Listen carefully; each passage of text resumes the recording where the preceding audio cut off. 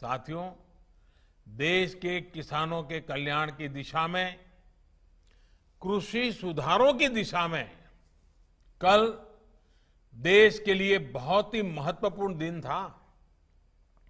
कल विश्वकर्मा जयंती के दिन लोकसभा में ऐतिहासिक कृषि सुधार विधेयक पारित किए गए हैं।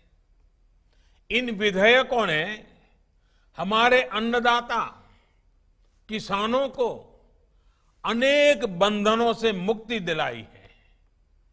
आज़ादी के बाद किसानों को किसानी में एक नई आज़ादी देने का काम हुआ है। इन सुधारों से किसानों को अपनी उपज बेचने में और ज़्यादा विकल्प मिलेंगे। और ज़्यादा अवसर मिलेंगे। मैं देश भर के किसानों को इन विधेयकों के पारित होने पर बहुत बहुत बधाई देता हूँ।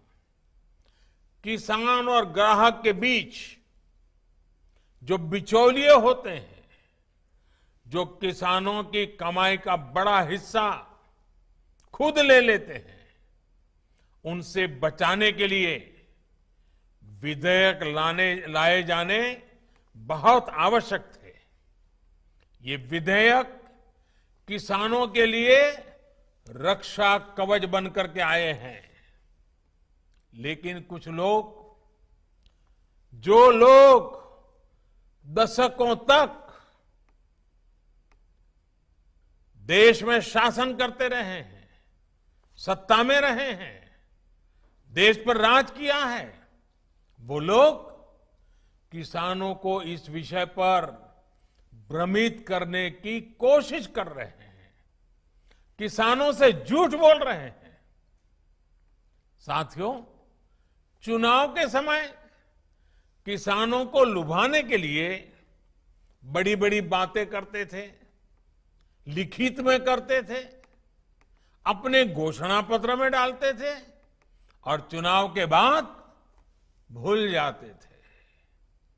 और आज जब वही चीज़ें, जो इतने दशकों तक देश में राज करने वाले लोगों के मैनिफेस्टो में है, वही चीज़ें भारतीय जनता पार्टी, एनडीए सरकार कर रही है।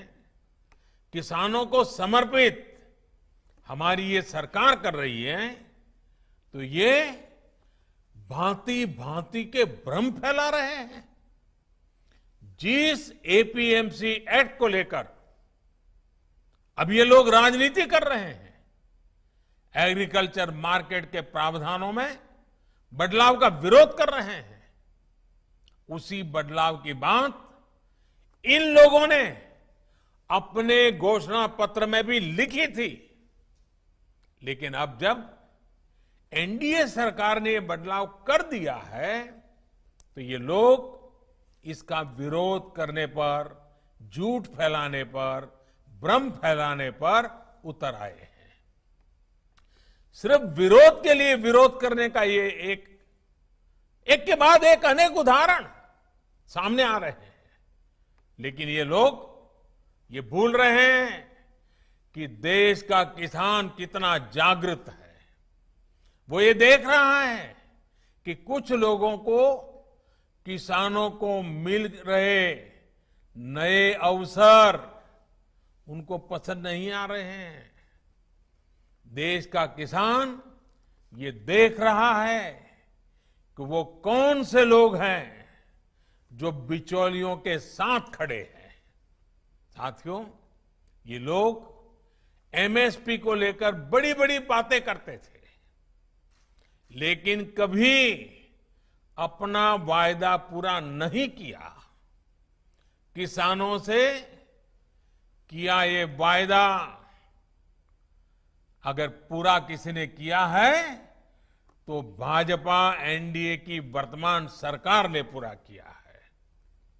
अब ये दुष्प्रचार किया जा रहा है कि सरकार के द्वारा किसानों को एमएसपी का लाभ नहीं दिया जाएगा।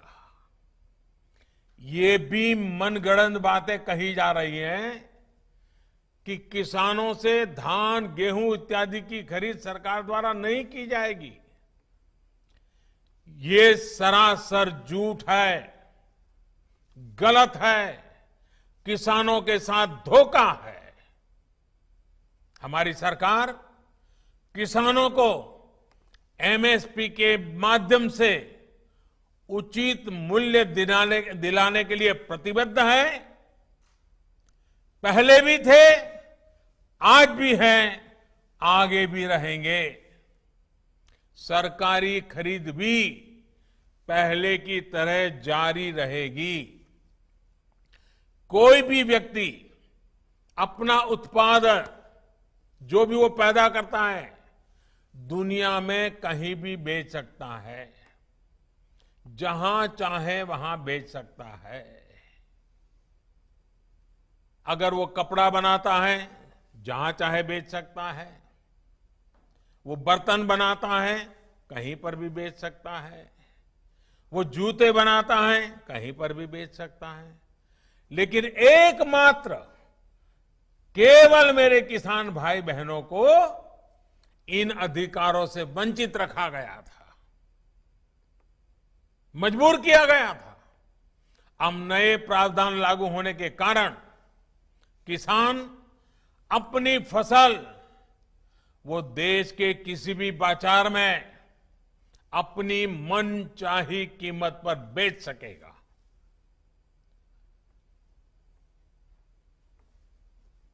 ये हमारे कॉपरेटिव्स कृषि उत्पादक संघ एपीओस और बिहार में चलने वाले जीविका जैसे महिला स्वयं सहायता समूहों के लिए एक सुनहरा अवसर लेकर आया है।